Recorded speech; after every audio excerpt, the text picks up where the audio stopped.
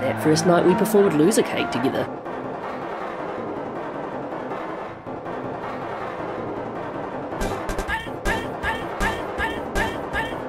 I still remember that first night we performed Loser Cake together.